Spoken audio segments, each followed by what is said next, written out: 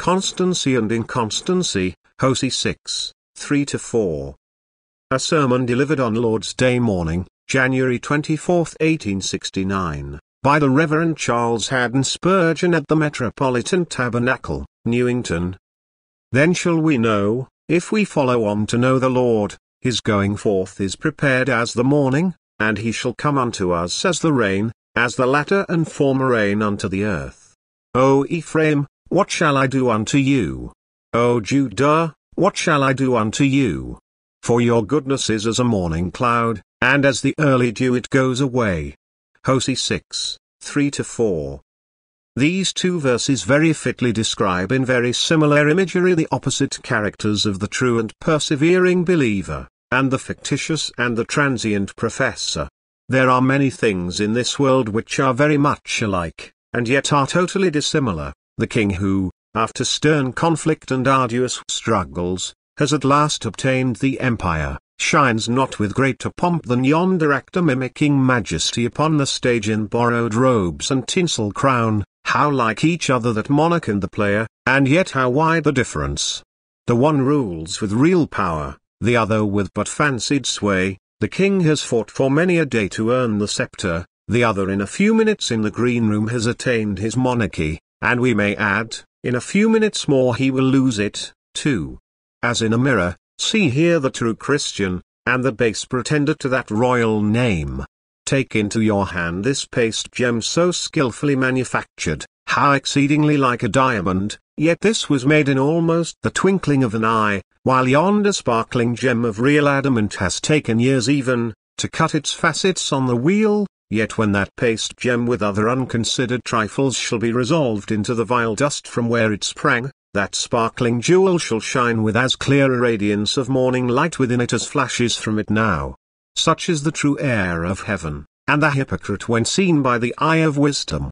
Look but a year or two ago at two houses of business, how like each other, how large their transactions, how respectable their names, yet the one all hollow, its capital long spent, its reputation all a bubble, the other solid and substantial, with ample means, and large connections, this last has outlived the storm of commercial panic, while its rival has long been stranded and left a total wreck. Even thus men trade with heaven, and such are the differing results. We will inspect those two fine vessels upon the stocks, and unless well educated in the art of shipbuilding, who shall give a preference to the one or the other. But see them out at sea, let old Boreas blow, let the Atlantic rollers advance in their fury, and you shall see how the flimsy ill-built ship opens at every timber, her bolts loosen, her entire hull is disjointed and shivered, she is blown down and sinks to her doom. But the other vessel, built of sterner stuff, well bolted, with seasoned timbers all fitted, staunch and sound, braves the fury of the tempest, and reaches her desired haven. After this sort does the sea of life try the sons of men, and discern between the precious and the vile. As in the outer world things may be very like, and yet have no likeness, so in the spiritual world there are persons so like Christians that even a seraph's judgment could not detect the impostor. There are characters so like to that which the renewed nature exhibits, that even if you lived with the man, you scarcely could tell him to be a counterfeit, and yet after a little time and trial, the lies ooze through, and the man is found out.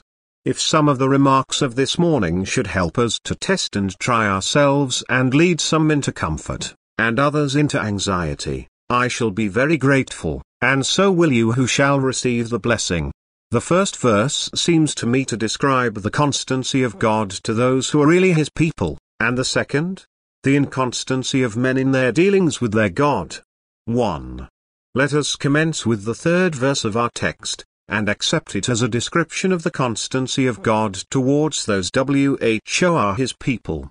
It is our solemn conviction that the gifts and calling of God are without repentance, that wherever the Lord bestows spiritual life and salvation he never recalls the gift, that it is not his wish to play fast and loose with the sons of men, to give today, and retract tomorrow. We enjoy the doctrine of final perseverance, and cannot think how anyone can doubt it.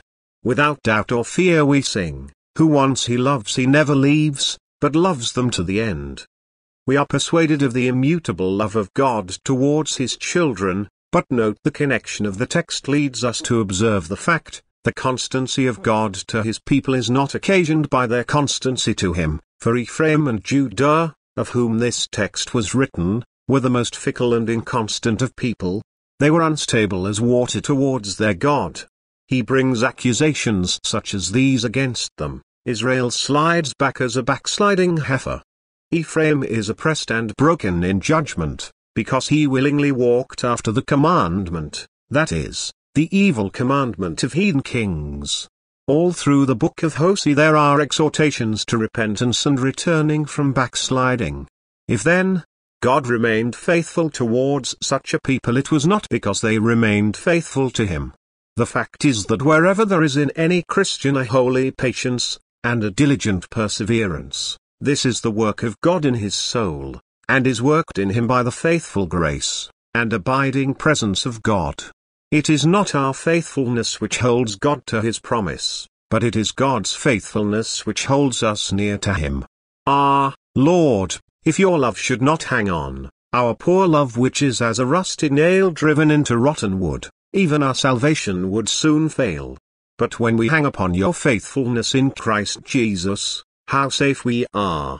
Ah, if one single stone of the entire fabric of our salvation had to be quarried out of our carnal nature, it could never be found, for our whole nature is as a miry place, a bog in which nothing stable can be discovered. Beloved, though we believe not, God abides faithful, though we twist and turn aside a thousand times, yet he brings his wandering servants back, and restores them to his ways, out of the infinite love and compassion of his heart. I know some prostitute this doctrine into an excuse for sin. Oh, mean and sensual hearts, they are base-born pretenders to a divine grace they never knew. If they found not this excuse, they would make another, for they are generations apt in lies, and well skilled in perverting the truth of God to their own purposes, they turn the grace of God into licentiousness, and their damnation is just. But no converted man ever found an apology for sin in the immutability of divine affection. No, but this is the greatest condemnation of our sin, that we transgress against a God who still loves us, that we dare to play the traitor to him who never for a moment was inconstant in his love to us. If a husband were unstable in his marriage love, there were some excuse for the unfaithful wife, but the firmness of our great husband's love to our souls makes it the blackest treason, and the most accursed unchastity if our hearts turn aside from our best beloved to follow after idols. The fountain does not depend on the stream or the sun upon its beams, or the soil upon the flowers. Effects depend on causes, not causes on effects. And so the attending love of God does not depend upon the constancy of his people. Note next, that the faithfulness of God to his people does not always show itself in the most pleasing ways. The first verse tells us that God had torn and struck his people, and the last verse of the former chapter represents the Lord as saying, I will go and return to my place. A father's love does not always reveal itself in kisses and gifts of sweets, love often has to force itself to blows and stripes, and those black love tokens which blossom upon the rod of chastisement are as true proofs of a father's kindness as the soft blandishment, and sweet endearments which at other times he lavishly scatters. Our God does not indulge his people with constant prosperity, lest they drown in the river of worldliness.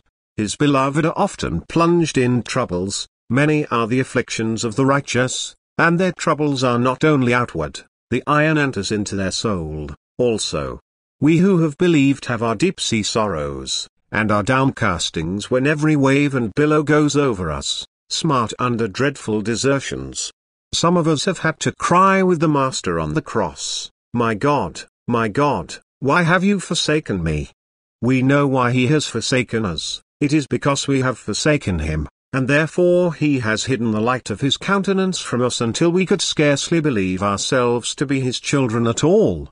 We have turned to prayer and found words, and even desires fail us when on our knees, We have searched the scriptures with no consolatory result. Every text of scripture has looked black upon us, every promise blockaded its ports against us, we have tried to raise a single thought heavenward, but have been so distracted under a sense of the Lord's wrath which lay heavy upon us, that we could not even aspire for a moment. We could only say, Why are you cast down, O my soul? Why are you disquieted within me?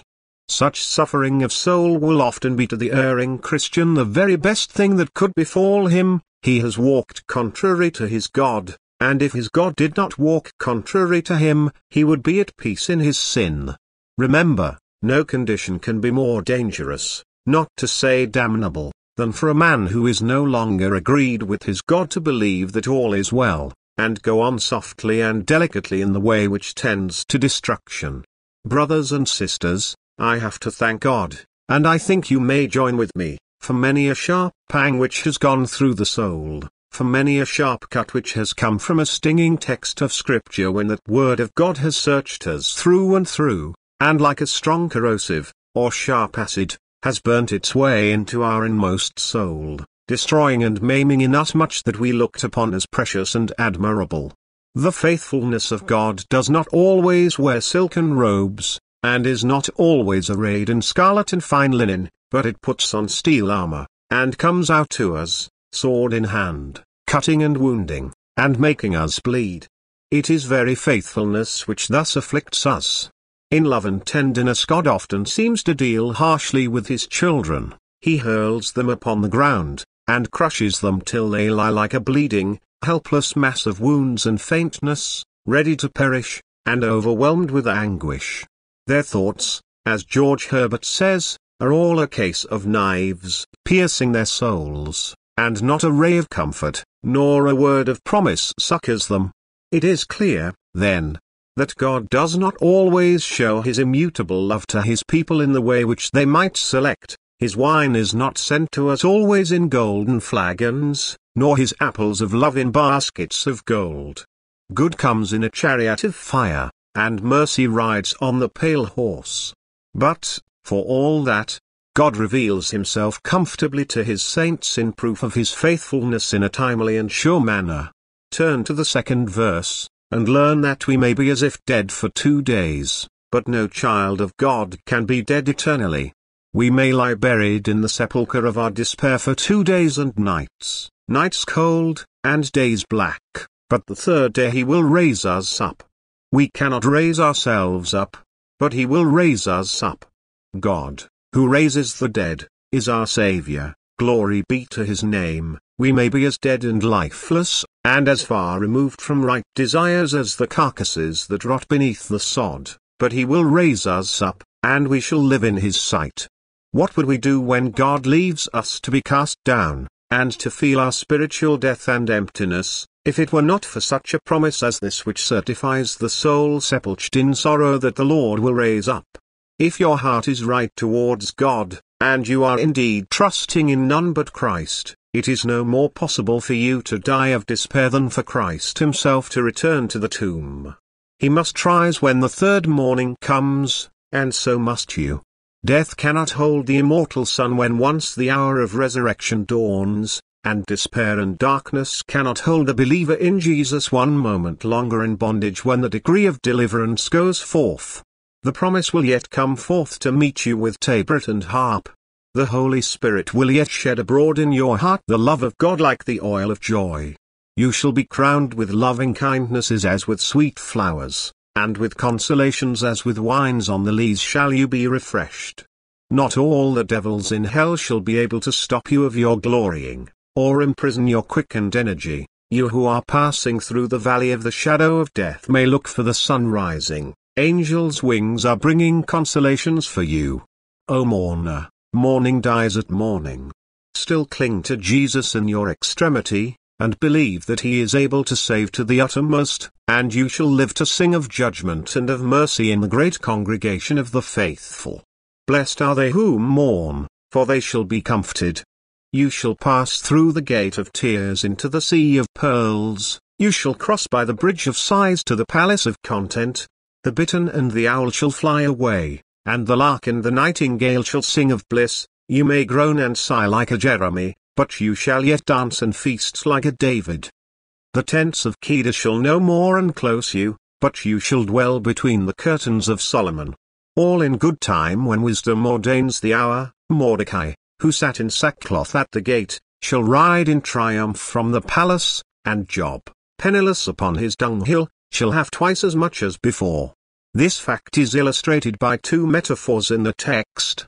It is said that the child of God who follows on in the path of faith, despite the wounding and the striking which he may suffer, shall without doubt know the faithfulness of God whose going forth is prepared as the morning. Observe this figure, for it is very comforting and instructive. Note the preparation spoken of. The morning comes not unlooked for like one in haste with hair dishevelled, and garments in disarray. In the gloomiest watch of the night preparations are being made for the dawning of the day, the sun's flaming chariot is hastening with glowing axles along the celestial road to reach again that eastern climate from which he comes to us sowing the earth with orient pearls. As soon as the earth by its continued revolutions has taken Great Britain away from the light of the sun, it begins at once to hasten its return. Every moment of the night this portion of our planet is moving on towards the light, the world is spinning round in the silent hours of night so as to bring our little island as speedily as possible once more under the morning rays. On the black wings of night the dawning is hastening, and even thus, at the worst period of our sorrows, there is a preparation being made for a turn of the tide. Our winter is making ready for our summer. You tell me you do not see how this can be so, but even you might see it if you would consider, and if you cannot see it, at any rate I pray you believe it, for surely it is so. You clearly see God in nature bringing on the morning by allowing the passage of the night, and within your heart He is preparing you for joy, brightness, and comfort by your present sorrows.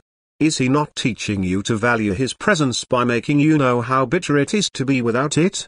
Is He not humbling you that it may be safe to exalt you, emptying you that there may be more room for His fullness? Is he not now sharpening your spiritual desires, and quickening your heavenly appetites to make the feast of his love the more welcome? Is he not now purging you, but not with silver, refining you in the furnace of affliction, that you may be made a vessel unto honor fit for the Master's use? Oh, yes, the morning is prepared for you. Faiths I can detect the first streaks of the light upon the horizon. Help is already come to you like a John the Baptist to foretell the coming of the Lord. Sing, for the day breaks, and the shadows flee away. But the text not only speaks of preparation, the figure evidently sets forth certainty. The Lord's goings forth of mercy are as sure as the return of day. No power known to us can put off tomorrow morning by so much as an hour, it is ordained that the sun shall rise at such a time, and rise it will. The publication of an Act of Parliament by which the night should be prolonged would be an act of insanity. The gathering together of all the armies of the nations to hold back the sun, even for a single second, from his predestinated time of rising would be a monstrous freak of madness. Surely the sun, all blithely rising from his rest, would look upon the nations of the earth assembled to stay his course, and scatter his laughing beams among them, with contempt. Truly thus it is with the presence of God in the regenerate soul. Saints of their times to mourn, and mourn they must, but in their time of dancing they shall dance, let who will howl at their sacred mirth. If April has its showers, May shall have its flowers, when God appoints, none can alter it. The joy which is sown for the righteous shall grow into waving sheaves, and blight nor withering wind shall prevent the golden ears.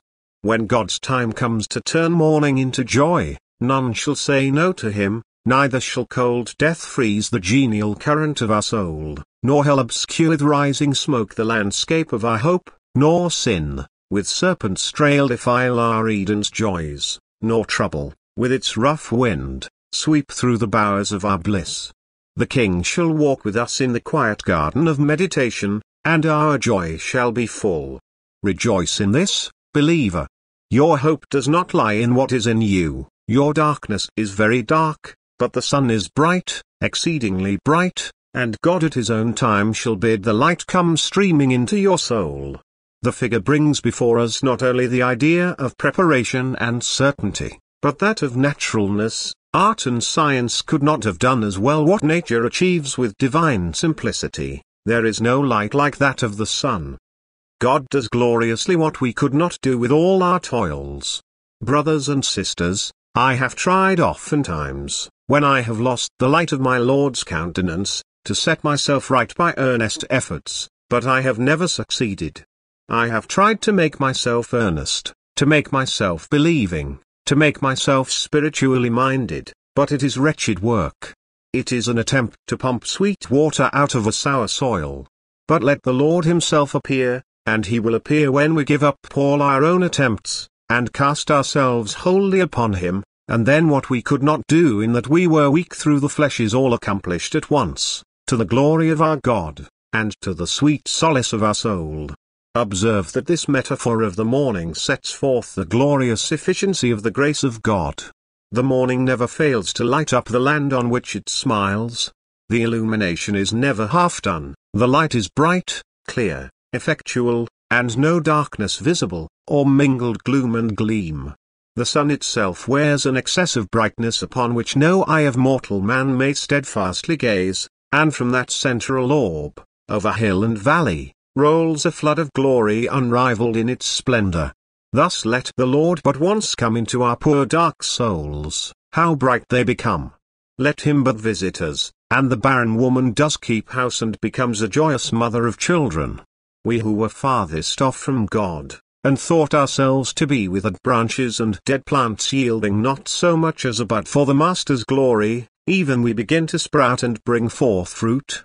Yes, and fruit unto perfection, like Aaron's famous rod of old. We are made to wonder, as we see God's handiwork in such poor creatures as we are. Let no Christian despair. Let no child of God, in his long wintry nights, begin to mistrust his God. His coming forth is as the morning, and it shall be such a coming. Oh, such a coming that your soul, now so empty, shall not merely be filled, but shall overflow. The Lord will not give a mere sip to you who are thirsty, but he has said it, I will pour water upon him who is thirsty, and floods upon the dry ground. All, and more than all your heart can desire shall be furnished you at the coming of your Master. The second figure is equally beautiful, he shall come unto us as the rain, as the latter and former rain unto the earth. There were two great rains in Palestine, one rain fell at the time when the seed was cast into the ground, almost as soon as the farmer who watched the seasons had turned over the soil, and dropped in his golden grain. The fell heavy showers which lasted for some time. Usually rain did not fall again for months, but it returned again when the ear was well formed and needed filling up.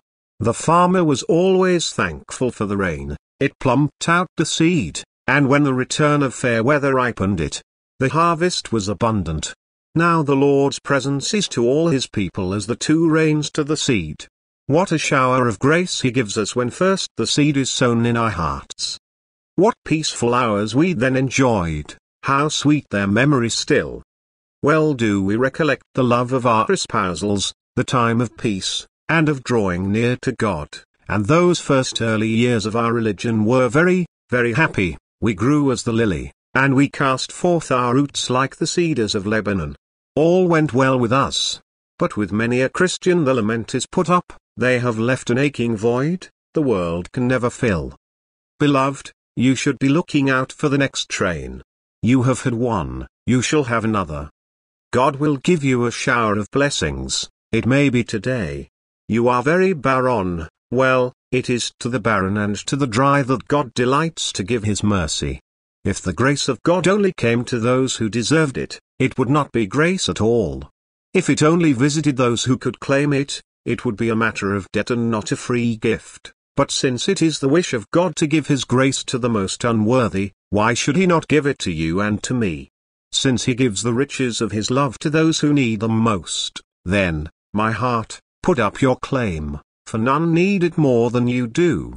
If you can but look right out of yourself to your God, and trust in him, then be assured as the rain falls upon the thirsty pastures of the wilderness, and fills the pools and makes the little hills rejoice on every side, so your God who visited you before will deal graciously with you again, and turn your barrenness into verdure, and all your drought into plenty. Lord, let it be so, and we will bless your name. This is what our Heavenly Father aims at to get praise from the lips of His children.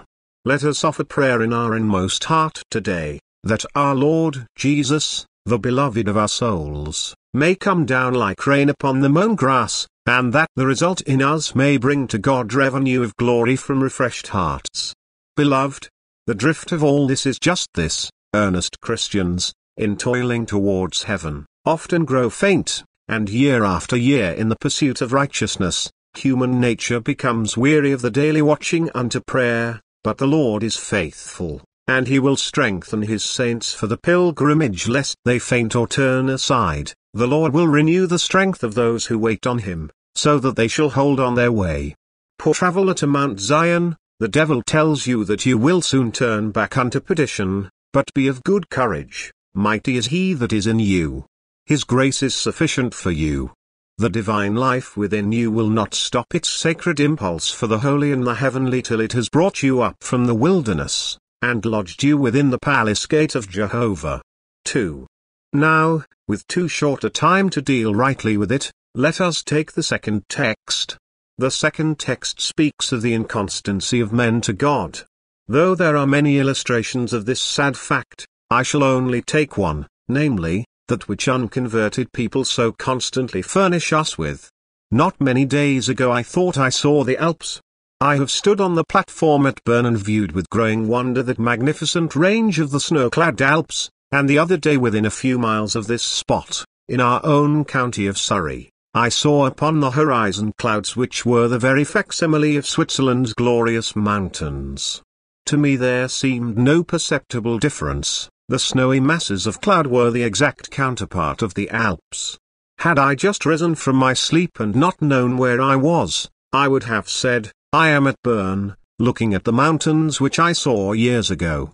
Yet before some five minutes had passed, the fair vision had melted away, and there were no peaks of granite there, but mere aggregations of vapor. How often have I seen Christians, as I have thought, and as all others have thought, and I have rejoiced and blessed God over what seemed converted men and women. But before long we have had clear proof that we have been grossly deceived. There was goodness in them, the text calls it goodness, but it was only such nominal goodness as nature boasts of, and it vanished like the morning cloud. Observe the contrasting metaphor, God's love is the morning, man's fair promise is but the morning cloud. A mist is often seen in Palestine early in the morning and the farmer hopes that the drought will come to an end, but it mocks his hopes, and there is no rain, the cloud is exhaled in the sun, and the earth is as parched as ever, Early dew is also mentioned as a very fleeting thing, a child of the night, it is gone when the sun looks upon it. So is it with the religion of hundreds of people of whom we in charity judge hopefully, but concerning whom we are deceived.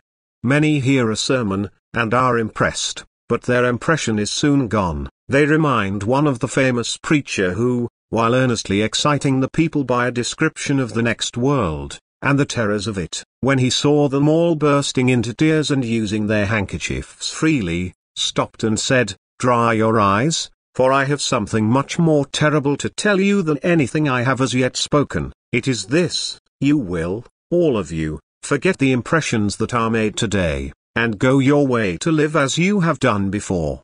This is the worst point of all, that after bearing a true report to our fellow men concerning most weighty matters, the messengers of the truth of God are forced to cry, Who has believed our report, and to whom is the arm of the Lord revealed? Our hearers appear to believe. But having eyes, they see not, and having ears, they hear not so as to understand. Some cases are particularly painful to remember because their impressions continue, so continue that they reform their manners. They begin to pray, spiritual life apparently visits them, they take a great delight in holy company, they are much in reading the Word. And yet all is gone, and they become as before. We have seen so much about certain people that we thought admirable, that we were ready to think if they were not converted, we were not, and yet they have gone back, and the house of God sees them no more, or if the house sees their bodily presence, yet their heart is not in the worship. I fear we get a sad number of this sort into church membership, young people, impressed early when they have not known temptation because they have not gone out from their parents' homes, too often disappoint us in later life. The seed springs up, but under the hot sun of temptation it withers away. Ah, and this is sad. According to the text it is mournful to the heart of God himself that there should be goodness enough to be comparable to a cloud and to dew, and yet, like both cloud and dew the goodness should utterly pass away. Brothers and sisters, you see the case before us, you see how like the hopefulness of some is to the reality that is in others, how near akin the morning cloud is to the morning, and how like that early dew is to the heavenly shower. What is the reason why so many thus deceive themselves and us? Is not it in most cases the lack of a deep perception of sin? Though I rejoice in sudden conversions, I entertain grave suspicions of those suddenly happy people who seem never to have sorrowed over their sin. I am afraid that those who come by their religion so very lightly often lose it quite as lightly. Saul of Tarsus was converted suddenly, but no man ever went through a greater horror of darkness than he did before Ananias came to him with the words of comfort. I like deep ploughing, skimming topsoil is poor work. The tearing of the soil undersurface is greatly needed, after all. The most lasting Christians appear to be those who have seen their inward disease to be very deeply seated and loathsome, and after a while have been led to see the glory of the healing hand of the Lord Jesus as he stretches it out in the gospel. I am afraid that in much modern religion there is a lack of depth on all points, they neither deeply tremble nor greatly rejoice, they neither much despair nor much believe. Oh, beware of pious veneering. Beware of the religion which consists in putting on a thin slice of godliness over a mass of carnality. We must have thorough work within. The grace which reaches the core, and affects the innermost spirit is the only grace worth having. To put all in one word, a lack of the Holy Spirit is the great cause of religious instability. Beware of mistaking excitement for the Holy Spirit, or your own resolutions for the deep workings of the Spirit of God in the soul. All that ever nature paints God will burn off with hot irons, all that nature ever spins God will unravel and cast away with the rags. You must be born from above. You must have a new nature worked in you by the finger of God Himself. Of all his saints it is written, You are his workmanship, created anew in Christ Jesus. Oh, but everywhere, I fear, there is a lack of the Holy Spirit. There is much getting up of a tawdry morality, barely skin deep, much crying, peace, peace, where there is no peace, and very little deep heart-searching anxiety to be thoroughly purged from sin well-known and well-remembered truths of God are believed without an accompanying impression of their weight, helps are flimsily formed, and confidence is ill-founded, and it is this which makes deceivers so plentiful, and fair shows after the flesh so common. According to the text, and I ask your solemn attention to this remark, such persons are the objects of mercy's anxiety. Observe it, it looks as if justice and mercy held a dialogue. O Ephraim, what shall I do unto you? Sweep him away, says justice. The man vows and promises, only to play the liar's part. He says he will repent, but turns again like a dog to his vomit. He declares he will be saved, but he goes back like a sow that is washed, to her wallowing in the mire. Spare him, says mercy, spare him, O God. You can yet give him a new heart instead of that fickle heart, and a right spirit in lieu of that wayward spirit. He is a bullock unaccustomed to the yoke, but, Lord, you have broken others into your service, break him in also. So justice urges one thing, and mercy pleads another, and therefore the conflict, O Ephraim, what shall I do unto you? O Judah, what shall I do unto you? The Lord has two courses open to him, the first is he can leave you altogether, the man has heard the gospel, he has had it preached to him affectionately, and he has felt its power in a measure. He shall never hear it again, and if he goes down to hell, he cannot say he had not an opportunity, he will not be able, amidst the fires of the pit to say, I never heard the gospel, and I never was impressed with it. Mercy, says justice, you have had your turn, the man has had enough of you, and he is not bettered by you. Come, put up your silver scepter, mercy, I have a more potent weapon, let me try my sharp, two-edged sword, they who will not bend, shall break, and he who will not stoop shall be dashed to the ground as with a rod of iron. Our compassionate God has, however, another alternative, and that is to try something more with you deceptive ones. I could wish that some of you unconverted people who have been hearing me a long while would not come to this tabernacle again, I speak out of kindness.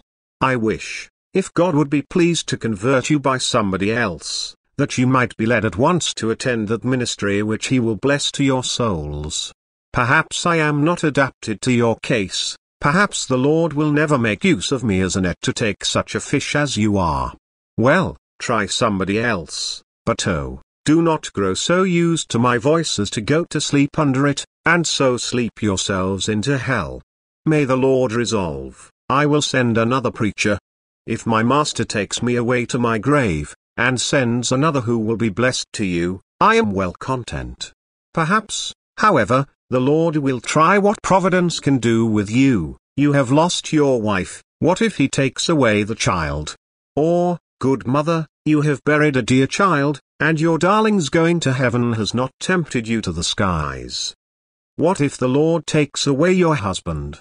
If he loves you, he will not give you up nor spare your feelings, but will bring you to repentance by any means, however severe. If the Lord does not give you up, and you do not soon repent, it will come to this, he will strip every earthly comfort away from you, he will hedge up your way with thorns and so will compel you to come to himself.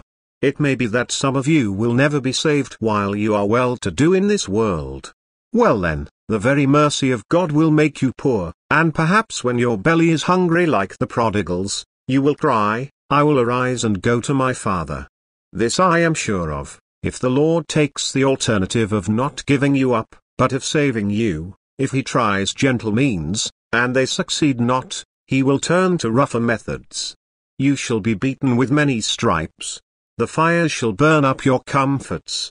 The moth and rust shall consume your treasures. The light of your eyes shall be taken from you at a stroke, your children shall die before your eyes, or the partner of your bosom shall be laid in the grave, for by any means God will bring you in. He has determined to save you, and he will do it, let it cost what it may. He spared not his own son to save you, and he will not spare yours. Nor will he spare your body. You shall be worn with disease, and wasted with sickness, you shall have misery of soul, and despair of heart, but he will save you if he so resolves upon it. And for this you shall one day bless his name and kiss the rod by which he chastened you to himself. He seems to me to say this morning to those of you who are unsaved after many impressions, What more can I do than I have done? And the answer must be, Lord, there is only one thing more, send your divine spirit this morning on dove-like wings and change my poor heart. Lord, you have tried the means, now come to me yourself.